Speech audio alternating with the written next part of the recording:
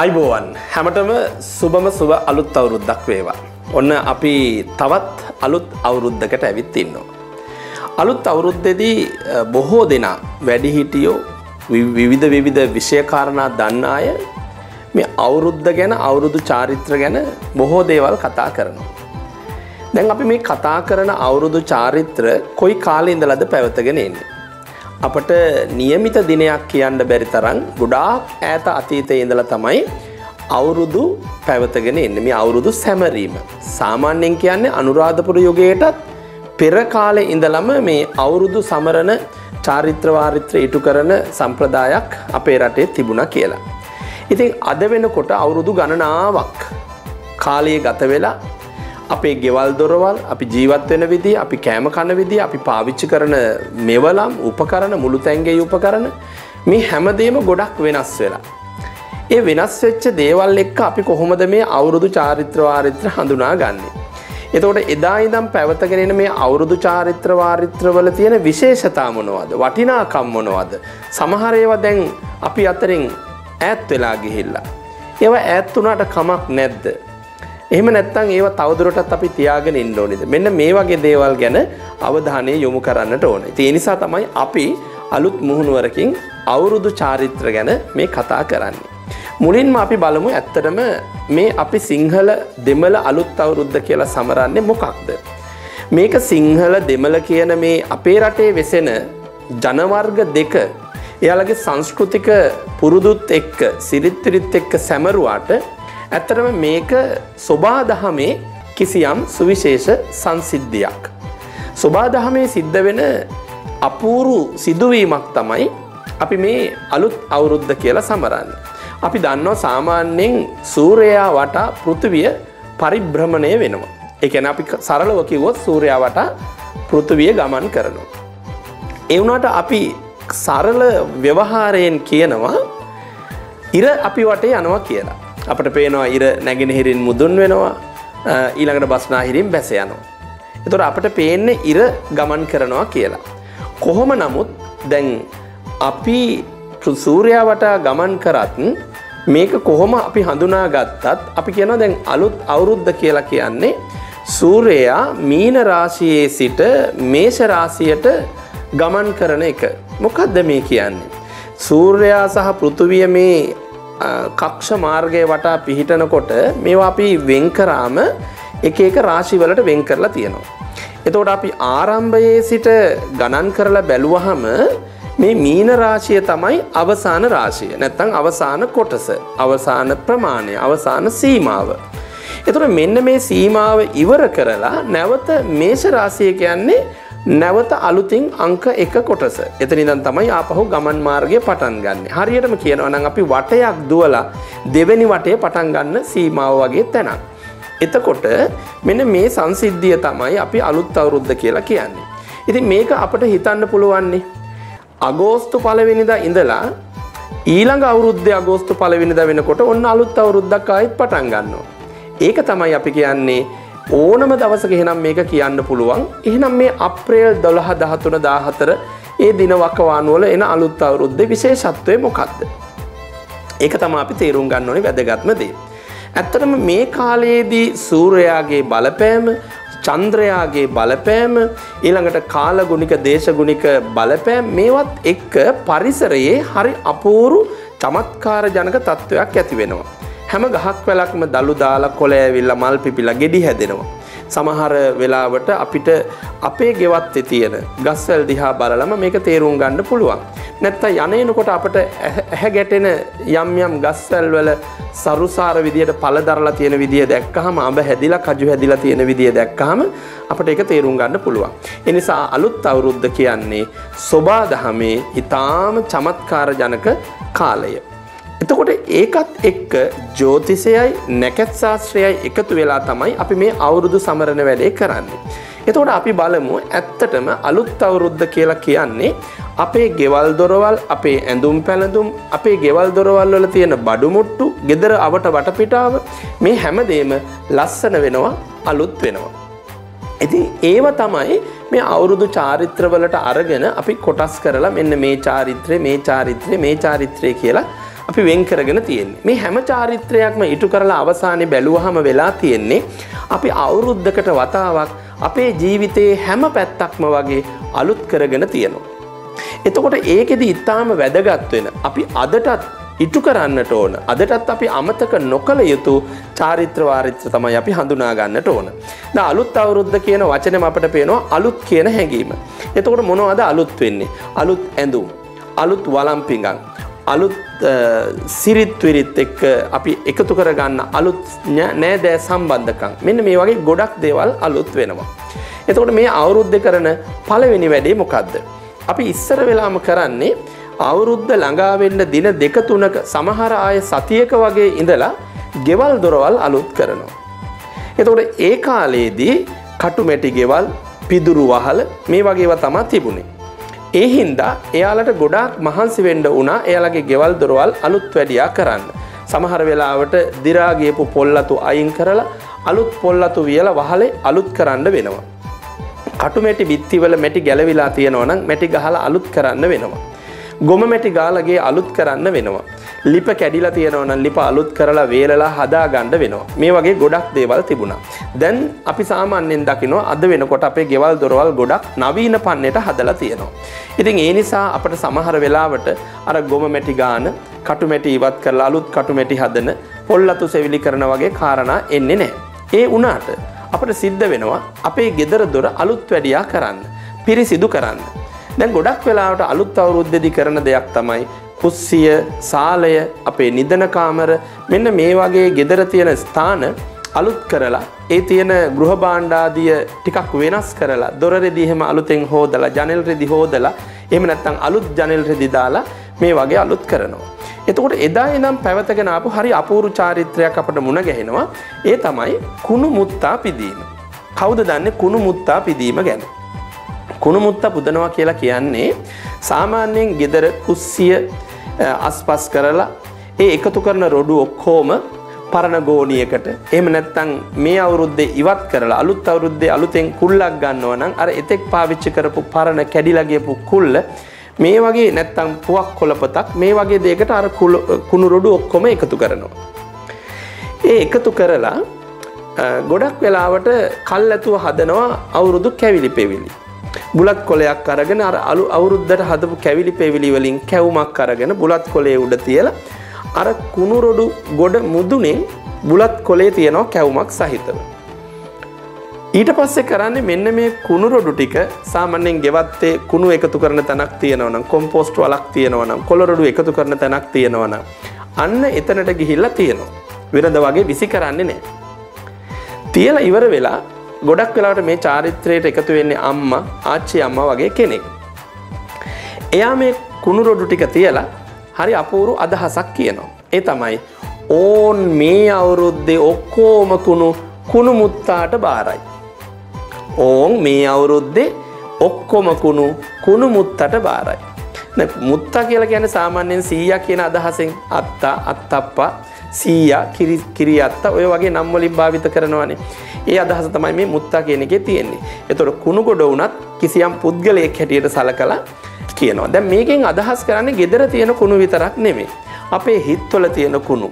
අපි විවිධ අයත් එක්ක අඬ දබර ඇති කරගෙන තරහ මරහ ඇති කරගෙන රණ්ඩු සරුවල් වෙලා මොනවම් හෝ අමනාපකම් ඇති කරගෙන හිත්වල ඒවා පොඩි පොඩි තැන්වල කුණු හැටියට එකතු වෙලා තියෙනවා නම් ඒ සියල්ලත් මේ කුණු මුත්තා පිදීමේ චාරිත්‍රයෙන් සිද්ධ වෙනවා. එතකොට මොකද වෙන්නේ අපේ සිතුම් පැතුම් අපේ සම්බන්ධකම් හිතවත්කම් මේ සියල්ල අලුත් වෙනවා. ඊළඟට සුපුරුදු පරිදි ඔන්න අලුත් අවුරුද්දට සූදානම් වීමක් හැටියට කැවිලි පෙවිලි සූදානන් කරන ඊළඟට කිරි උතුරන්ඩ අවශ්‍ය දේවල් සූදානන් කරන පොලට ගිහිල්ලා අලුත් ඇඳුම් ගෙනෙන ඔය වගේ දේවල් සිද්ධ වෙනවා. ඒවා චාරිත්‍ර වාරිත්‍ර නෙමේ ඒවා සාමාන්‍යයෙන් කරන ක්‍රියාකාරකම්. චාරිත්‍රයක් හැටියට සාමාන්‍යයෙන් සිද්ධ වෙන දේ තමයි පරණ අවුරුද්ද සඳහා ස්නානය කිරීම. ඒ කියන්නේ නෑම. දැන් අතීතයේ ගොඩක් වෙලාවට මේ නානයක ගොඩාක් සැලකිල්ලෙන් කරපු දෙයක් මොකද ලෙඩ රෝගවලට වාතය සෙම පිත මේ වගේ දේවල් කොච්චර දුරට ශරීරයේ වෙනස් වෙනවද කියන එක ගැන වැඩි හිටියෝ සැලකිලිමත් වුණා. ඉතින් ඒ නිසා ආවේලාවේ නාන්නේ නැහැ. ප්‍රමාණය ඉක්මවා නාන්නේ නැහැ. ප්‍රමාණයට අඩුවෙන් නාන්නේ නැහැ. ওই වගේ විවිධ විවිධ තහංචි නීති රෙගුලාසි එයාලම හදාගෙන තිබුණා. ඉතින් පරණ අවුරුද්ද සඳහා ස්නානය කිරීම විශේෂ කර සලකන්නේ ඒ පරණ අවුරුද්දෙන් පස්සේ අලුත් අවුරුද්ද උදා වුණාම අලුත් අවුරුද්දේ නැකත් චාරිත්‍ර ඉටු කරන්න નિયમિત નિયમિત සුබ වේලාවන් එනවා. එතකොට මේ සුබ වේලාවන් එන තුරු ඒ අතරමැද කාලය තියෙනවා මෙන්න මේ මෙන්න මේ මෙන්න මේ දේවල් වලට සුදුසු නෑ සුබ නෑ කියලා. ඒ නිසා තමයි අර නාන්න තියෙන අන්තිම සුබ වෙලාවේ නැත්තම් නෑවට ප්‍රශ්නයක් නැති අන්තිම වෙලාව දක්වාම හරි ඇවිල්ලා එතනින් පස්සේ නැවත නැකත් උදා වෙනකන් නාන්න හොඳ නැති නිසා පරණ අවුරුද්ද සඳහා ස්නානය කරනවා. එත ඒක ඉතා වැදගත් දෙයක් මොකද හේතුව අර අවේලාවේ නාන එක අපි දැන් වුණත් ජීවිතේ හිතට ගන්න ඕනි දෙයක් සමහර වෙලාවට අපිට නූතන විද්‍යාත්මකව බැලුවත් අවේලාවේ නාන එකෙන් විවිධ ලෙඩ රෝග හැදෙන්න පුළුවන්. කොහොම නමුත් ඊට පස්සේ ඔන්න අවුරුදු උදාව වැදගත් චාරිත්‍රයක් හැටියට සලකනවා. සාමාන්‍යයෙන් මේකට කියනවා අවුරුදු කුමාරයා එනවා කියලා. දැන් අවුරුද්ද උදා වෙන වෙලාව සමහර වෙලාවට උදේස් උදෑසන පෙරවරු කාලයක් වෙන්න පුළුවන්.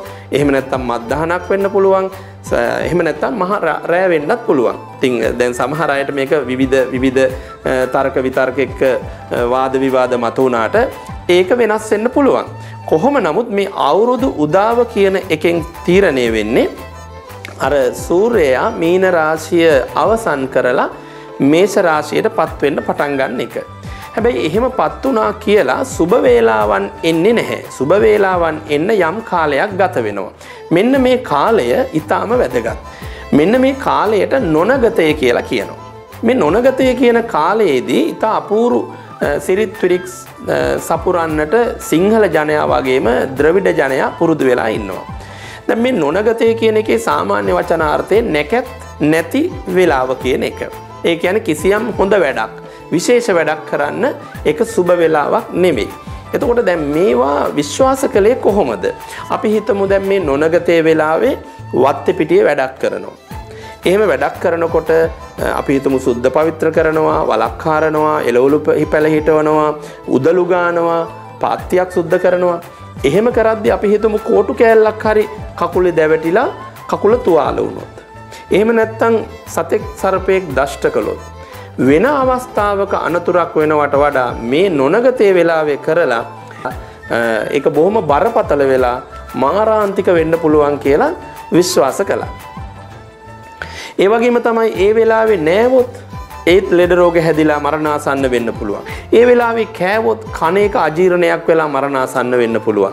අන්න ඒ නිසා මේ නැකතක් සුබ වේලාවක් නැති වෙලාවේ ඒ වගේ විශේෂ දෙයක් නොකර ඉන්න පුරුදු වුණා. මේක වැදගත්ම දේ තමයි මේ නොනගතයේ පුණ්‍ය කාලය කියන එක. පුණ්‍ය කාලය කියන වචනෙන් අපට තේරෙනවා පින් කරන කාලය. එතකොට මේ පුණ්‍ය කාලය තුල මොකද්ද කරන්නේ? සමහර වෙලාවට ගමේ පන්සලට කෝවිලට යනවා. ගිහිල්ලා ආගම සිහි කරනවා. ඒ ආගමික වතාවත් වල යෙදෙනවා. පන්සලට කෝවිලට යන්නට නොහැකි නම් gedara ඉඳගෙන ඒ වගේ අර යහපත් ආගමික තමන් විශ්වාස කරන ආගමික ඇදහිල්ලක නිරත වෙනවා. ඒකෙන් අදහස් කළේ මොකක්ද කියනක තමයි අපි බලන්නට ඕන. අවුරුද්ධ දැන් උදා වුණා නමුත් සුබනැකත් වෙලාවල් තාම පැමිණියේ නෑ. ඒ කාලය නොනගතය කියලා දැන් පුණ්‍ය කාලය කියලා පවත්වාගෙන යනවා. පුණ්‍ය කාලය අවසන් වෙන්නේ නැකත් වෙලාවන් උදා වෙනකොට. එතකොට දැන් මේ ගැමියෝ නැත්නම් අපේ වැඩිහිටියෝ මේ වෙලාවේ පින්කම් ආගමික ඇදහිලි කළේ අවුරුද්ද උදා වෙන වෙලාවේ හැම කෙනෙක්ම ඉන්නේ තමන්ගේ ආගම දහම සිහි කරමින් දෙවියන් බුදුන් සිහි කරමින් ඉතින් එතකොට ඒ උදා වෙන අවුරුද්ද මොනම හේතුවක් නිසාවත් අවාසනාවන්ත වෙන්නේ නැහැ වරදින්නේ නැහැ කියන විශ්වාසය තිබුණා. ඇත්තටම ඒක එහෙම නෙමෙයි කියලා අපි හිතුවොත් වෙන මොනවා හරි වැඩක් කර කර හිටියත් කමක් නැහැ කියලා හිතුවොත් එහෙම තර්ක කරන්න පුළුවන්නේ. හැබැයි මොකද්ද තියෙන අවැඩ? අවැඩ තමයි සමහර වෙලාවට අපි වෙනත් ඕනෑම දෙයක් කරද්දී අපිට තව කෙනෙක් එක්ක වැඩ කරන්න වෙනවා. සාමාන්‍ය සමාජයේ ජීවත් වෙනකොට ගොඩාක් අයත් එක්ක ගනුදෙනු කරන්න වෙනවා. ගෙදර දොරේ වුණත් අම්මා තාත්තා සහෝදර සහෝදරියෝ නෑදෑයෝ අසල්වැසියොත් එක්ක අපට ගනුදෙනු කරන්න වෙනවා වැඩ කරද්දී. ඉතින් එතකොට විවිධ විවිධ හිත්තමනාපකම්, කේන්තියාම්, උරණවීම්, ඊළඟට බහින් බස්වීම් වගේ දේවල් වෙන්න පුළුවන්. ඉතින් ඒ වගේ බහින් බස් වෙලා හිත නරක් වෙලා ඉන්න වෙලාවක නම් අවුරුද්ද උදා වෙන්නේ. එතකොට ඒක හිතටත් හරි නෑ. අනිත් අයටත් හරි නෑ. මෙන්න මේ වගේ දේවල් එක්ක තමයි මේ පුණ්‍ය කාලේ අවුරුද්දේ සුබ නැකත් උදා වෙනකොට ඊට පෙර කරලා තියෙන්නේ එකම එක දෙයයි ඒ තමයි සිත පහදාගෙන ආගම දහම අදහන එක. ඉතින් ඒවා අපිට බැහැර කරන්නට බැහැ. ඉතින් ඔන්න ඊළඟට අවුරුදු උදාව සිද්ධ වෙනවා. අවුරුදු උදාවේ මුලින්ම කරන්නේ දැන් අපි දන්නවා සාමාන්‍යයෙන් මේ අවුරුද්ද සමරන්න ගැමියන්ට අවස්ථාව තියෙන්නේ ගොවිතැන්පත් සරුසාර වෙලා අස්සනු නෙලාගෙන එහෙම ඉන්න නිසා. ඉතින් දැන් අවුරුදු උදාවේ පළවෙනි චාරිත්‍රය තමයි ලිපගිනි මොලවන එක. ආහාර පිසින එක. ඊට පස්සේ වැඩ අල්ලලා ගනුදෙනු කරලා ආහාර අනුභව කරන එක. ඔන්න ඔය ටික තමයි තියෙන්නේ. මේකෙදි ප්‍රධාන තැනක් ලැබෙන්නේ අම්මට. අම්මා තමයි ලිපගිනි මුලවලා කිරි මුට්ටියක් ලිපේ තියලා කිරි උතුරනවා කිරි උතුරනකොට එකෙන් අදහස් කරනවා ප්‍රාර්ථනා කරනවා මේ කිරි උතුරලා යනවා වගේ සෞභාග්‍යයෙන් ශාස්ත්‍රීයකත්වයෙන් සැප සම්පත් වලින් මුළු අවුරුද්දම අපේ ගෙදරට ඉතිරිලා යන තරමට ලැබෙන්න ඕනි කියලා. ඉතින් ඒ ප්‍රාර්ථනා හැටියට ගත්තොත් හැමෝම එකම වෙලාවක එක දෙයක් ප්‍රාර්ථනා කරනකොට ඒකට අපිට නොපෙනෙන බලවේගයක් තියෙනවා කියලා හිතන්න පුළුවන්. නොපෙනෙන බලවේගයක් නොතිබුණත් හැමෝම සිත සතුටින් වැඩ කරන එක අදිෂ්ඨාන සීලීව වැඩ කරන එක ඊටාම යහපත්. දැන් දැන් අවුරුද්දෙදි මේ කිරි උතුරලා කිරිබත්තු වෙලා ආහාර පිසලා ඉවර වුණාම අපේ ගෙදර සාමාන්‍යයෙන් චාරිත්‍රයක් තියෙනවා. ඒ තමයි කෑම මේසේ අලේ කිරීම. ඔන්න වචනය හරි අපූරුයි කෑම මේසේ අලේ කිරීම. කෑම මේසේ අලේ කිරීම කියලා කියන්නේ ඇත්තටම ගෙදර හැමෝම එකතු වෙලා ආහාර අනුභව කරන එක. සාමාන්‍යයෙන් ගෙදරක ගොඩක් වෙලාවට හැමදාම එදිනෙදා වේල් තුන ආහාර ගන්නකොට හැමෝම එකවර ආහාර ගන්නවා අඩුයි. හැබැයි දැන් මේ අලුත් අවුරුදු චාරිත්‍රයේදී අලුත් අවුරුදු දවසේදී ගෙදර හැමෝම එක වෙලාවක එක මොහොතක කෑම කනවා. ඒ ගෙදර විතරක් නෙමෙයි මුළු ගමේම මුළු ගමේම විතරක් නෙමෙයි මුළු රටේම. එතකොට දැන් මේක ඉතා විශේෂ දෙයක් තියෙනවා. ගෙදර හැමෝම කෑම මේසේ වටේ ඉන්නකොට තාත්තා කෑම මේසේ මත තියෙන පහනක් දල්වනවා. වෙනදා එහෙම පහනක් කෑම මේසේ නෑ. පහන දල්වලා ඊට පස්සේ තාත්තා කිරිබත් බෙදාගෙන ගෙදර ඉන්න හැම කෙනෙකුටම වයස අනුපිළිවෙලට කෑම කවාගෙන කවාගෙන නැත්නම් කිරිබත් කටක් කවාගෙන කවාගෙන යනවා. දැන් වෙනද අම්මා තමයි මේ වැඩේ කරනවා නම් කරන්නේ අවුරුද්ද දවසේ තාත්තා තමයි ඒ දේ කරන්නේ. ඉතින් ඔහොම කෑම කාලා ඉවර වුණාම දැන් ගෙදර ඉන්න වැඩිහිටි පිළිවෙලට වැඳුම් පිදුම් කරනවා. මේ වැඳීමෙන් අදහස් කරන්නේ වෙනදා වඳින වැඳීමම නෙමෙයි. අවුරුද්ද පුරාම මගේ යම් යම් අකීකරුකම් වුණා නම් අම්මගේ තාත්තගේ වැඩිහිටියන්ගේ හිත්‍රිද වීම වුණා නම් ඒ සියල්ලට සමාව දෙන්න. මේ අවුරුද්දේ මම ඒව අඩු කරගන්නවා. මෙන්න මේ වගේ හුවමාරුවක් ගනුදෙනුවක් තමයි මේ වැඳීමෙන් සිද්ධ වෙන්නේ. ඒත් එක්කම වැඩ අල්ලනවා ගනුදෙනු කරනවා. දුර වැඩ අල්ලනවා කියනකින් අදහස් කරන්නේ තම තමන්ට නියමිත වැඩරාජකාරීවල කිසියම් ආරම්භයක් ගන්න එක.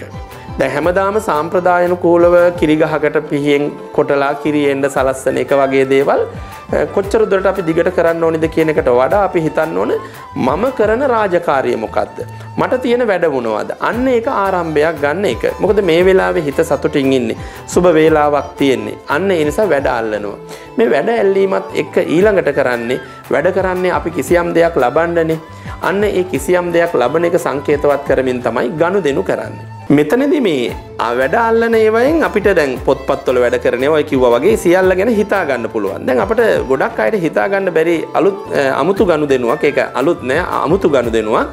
ඒ තමයි ලිඳ සමග ගනුදෙනු කිරීම. දැන් මෙතනදී ලොකු ප්‍රශ්න එනවා. ලිඳක් නැති ගෙවල් ඕන තරම් තියෙනවා. බොහෝ දෙනා දැන් නල ජලය තමයි භාවිත කරන්නේ. ඉස්සර නම් ගඟෙන් වතුර ගත්තා, වැවෙන් වතුර ගත්තා, දොලෙන් ගත්ත වතුර, ලිඳෙන් වතුර ගත්තා. කොහොම හරි ඒ කාලේදී කරේ මේ තමන් වතුර ගන්නෙ කොතනින්ද මොළ ජල මූලාශ්‍රයෙන්ද? අන්න ඒ ජල මූලාශ්‍රයෙන් මුල් අවුරුද්දේ මුල්ම වතාවට වතුර ගන්නවා කිසියම් භාජනයකට ගොඩක් වෙලාවට මැටි මුට්ටියකට එහෙම නැත්නම් දැන් නම් බෝතලයකට උනත් වතුර පුරව ගන්න පුළුවන්. එහෙම ගන්න ගමන් ඒ ලිඳෙන් වතුර ගන්න පෙර ලිඳට යමක් දෙනවා. මොනවද දෙන්නේ? ජලය පිරිසිදු කරන දේවල්. පවිත්‍රත්වයේ සංකේතාත්මක දේවල්. ඒ කියන්නේ සුදු මල් දෙක තුනක්, අඟුරු කැබැල්ලක්, තඹකාසියක්, විශේෂයෙන් තඹකාසියක්. මෙන්න මේ වගේ දේවල්. ඒවා දාලා ලිඳට ස්තුතිවන්ත වෙලා ගෞරව කරනවා අවුරුද්ද පුරා අපට වතුර දුන්නට. අපි පිපාසයෙන් තිබ්බේ නැතිවට ඔබට බොහෝම පිං. මේ අවුරුද්දෙත් අපට ඒ විදිහටම ජලය ලබා දෙන්න. ජලය ඉතා වැදගත්නේ. ඒ නිසා අන්න එහෙම ප්‍රාර්ථනා කළ තමයි වතුර එකක් පුරව ගන්න. මේ වතුර එක ගෙදර නියමිත ස්ථානයක තියෙනවා ඊළඟ අවුරුද්දේ ජල ලිඳ සමඟ ගණදනු කරන තුරුම. ඉතින් ඒ නිසා ඇත්තට මේක හොඳ කාරණාවක් වෙන. ඒ තමයි මේ ජලය කියන්නේ පිරිසිදුව තියාගන්න ඕනි දෙයක්. ඒ නිසා මේ ජලය පිරිසිදුව තබා ගන්නට අර තියාගන්න වතුර බෝතලේ අවුරුද්දක් පුරා තියාගන්නවා. අන්න ඒක ඊටාම සැලකිලිමත් විය යුතු දෙයක්. ලිඳක් නැතත් අපි ගන්නේ කරාමයෙන් උනත් අවුරුද්දේදී අපිට ඒක කරන්න පුළුවන්. මොනවා නැතත් යම් දවසක ගෙදර වතුර බින්දුවක් හරි නැති වෙච්ච දවසට මේ චාරිත්‍රයට ඉටු කරගත්ත වතුර බෝතලේ හරි අපට තියෙනවා. ඉතින් ඒක ඊටාම වටිනා ගනුදෙනුවක්. මේ සියල්ලට මේ සියල්ල අපි නිතර කතා වෙන දේවල්නේ. සාමාන්‍යයෙන් කතා නොවන දෙයක් තියෙනවා. දැන් අර කෑම මේසේ අලේ කරා වගේ ගේ අලේ කරනවා කියලා දෙයක් වෙනවා. ඒක ඇත්තටම ටිකක් සැලසුම් සහගතව කරන්නේ. දැන් අපි මේ සුබ විදියට හැමදේම පටන් අරගෙන අවුරුද්දේ මේ මූලික දේවල් ඉවර වුණ ගමන් අපේ ගෙදරට ආවොත් අපි අකමැති කෙනෙක්. අපි හොඳ නෑ කියලා තීරණය කරපු කෙනෙක්. අපි එනවට තියා කතා කරන්නවත් කැමති නැති කෙනෙක්. සාමාන්‍ය ජීවිතේ එහෙමයි ඉන්න පුළුවන්නේ. එතකොට අපේ හිත බිඳෙනවා. අපේ හිත කැඩෙනවා. අපි හිතින් හිතනවා අනේ අවුරුද්දේ ඉස් ඉස්සර වෙලාම අපේ ගෙදරට ආවේ කවුද මේ? අපි අකමැතිම කෙනෙක්. එහෙනම් අපිට මේ අවුරුද්දම අසුබ වේවි. අපි අවුරුද්ද පටන් ගන්න අපේ හිත ඇතුලේ ඒ වගේ ඍණාත්මක හැඟීම් තියාගෙන. අන්න ඒ නිසා අම්මා හෝ තාත්තා සැලසුම් සහගතව මෙන්න මේ ගේ අලය කිරීම කරනවා. ඒ තමයි කල් වේලා ඇතුව අවුරුද්දට පෙර දවසක ගමේ ඉන්න Tamanට හිතවත් කියලා හිතෙන හිත හොඳයි කියලා හිතෙන ඒ වගේම ඊටාම සාර්ථක පුද්ගලයෙක් සමහර විට හොඳ ව්‍යාපාරයක් කරන හොඳ පුද්ගලයෙක් අන්න ඒ වගේ කෙනෙකුට කල්ැතුව කියනවා අවුරුද්දේ අපේගේ අලේ කරන්න එන්න කියලා. ඉතින් එතකොට එයා අපේ ගෙදරට එනවා. එයා නිකන් එන්නේ නැහැ. එයා එන්නේ හරි අපූරු දෙයක් අරගෙන. ඒකට කියනවා අලේ පොට්ටනිය කියලා. දැන් මේ අපේ පැරණි ගැමි ගෙවල් වල වෙච්ච දෙයක් මේක කොච්චර දුරට දැන් වෙනස් වෙන්න ඕනිද කියලාත් අපට හිතා ගන්න පුළුවන්. මේ අලේ පොට්ටනිය ඇතුලේ තියෙනවා. ඒ කියන්නේ රෙදි කෑල්ලක ඔතලා පොට්ටනියක් හදලා පොදියක් හදලා. මේක ඇතුලේ තියෙනවා හාල්ලට හෝ වීයට ටිකක්. ඊළඟට වේලිච්ච මිරිස් කරලා. ගොරක කැබැල්ලක්. කහ කැබැල්ලක්. ඊළඟට තඹ කාසියක්.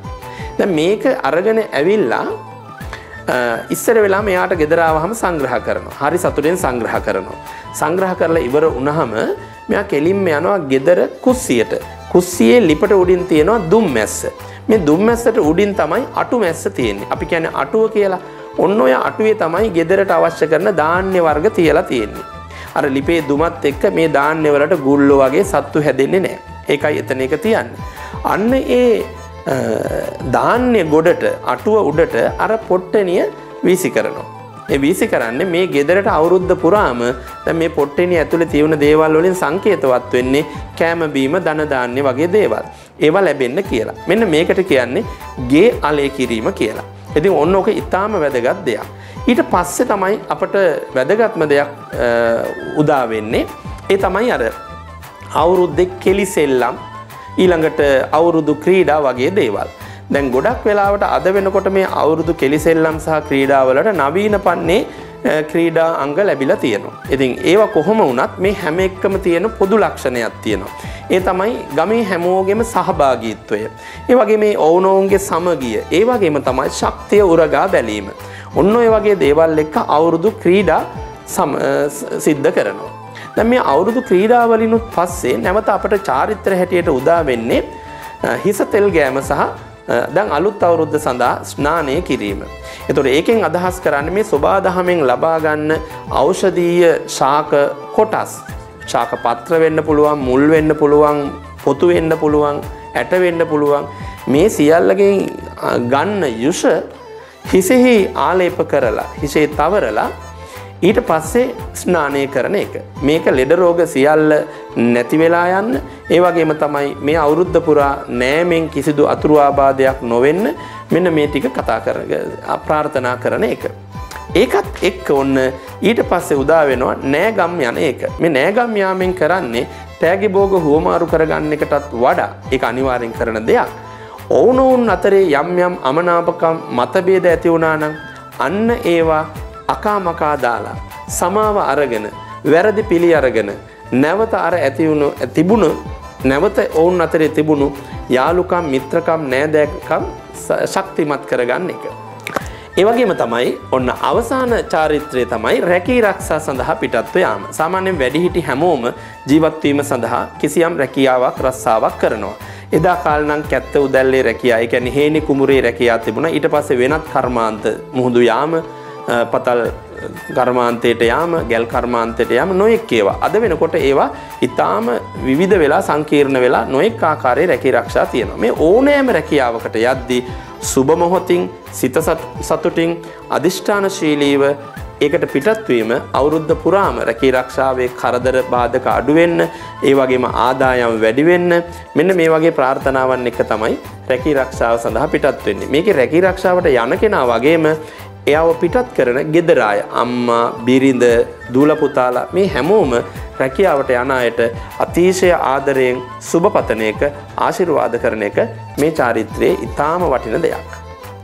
ඉතින් ඒ නිසා මෙන්න මේ වගේ දේවල් ගැන අපි හොඳට හිතලා බැලුවොත් මේ අවුරුදු චාරිත්‍ර වාරිත්‍ර අද අපේ ජීවිතත් එක්ක කොහොමද අපි එකතු කරගන්නේ. එනිසා හැම දෙයක්ම අන්ධ විශ්වාසයකින් අන්ධ භක්තියකින් අනුකරණය කරන්නේ නැතුව අපේ ජීවිතත් එක්ක අපේ හැඟීම් එක්ක අපේ සිතුවිලි එක්ක අලුත් වෙන්න පුළුවන් නම් ශක්තිමත් වෙන්න පුළුවන් නම් අදිෂ්ඨානශීලී වෙන්න පුළුවන් නම් අන්න ඒ විදිහට මෙන්න මේ චාරිත්‍ර අවබෝධයක් ඇතුව ඉටු කරනවා නම් ඒක තමයි සැබෑ අවුරුද්ද වෙන්නේ. ඉතින් ඒ නිසා ඔබේ සැලකිල්ල අවධානය යොමු කරන්න අපි මේ ඉටු කරන චාරිත්‍ර වාරිත්‍ර මොනවද?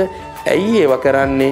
මොකක්ද එකෙන් අපේ හිතට ගතට සහ අපේ අවට පරිසරයත් එක්ක තියෙන සමාජයට උදා වෙන්නේ ලැබෙන්නේ කියලා. ඒ අනුව තමයි අපි මේ චාරිත්‍ර වාරිත්‍ර ඉටු කරන්නට ඕන. එහෙමනම් අලුත් අවුරුද්දේ සුබ නැකැත්වලට සුදුසු චාරිත්‍ර සුදුසු විදිහට ඉටු කරලා ඔබට උදාවෙන අලුත් අවුරුද්ද ප්‍රීතිමත්ව සෞභාග්‍යයෙන් සැපයෙන් සනීපයෙන් ගත කරන්නට සියලු ශක්තිය ලැබේවා කියලා අපි ප්‍රාර්ථනා කරනවා. හැම දිනාටම සුබම සුබ අලුත් අවුරුද්දක් වේවා.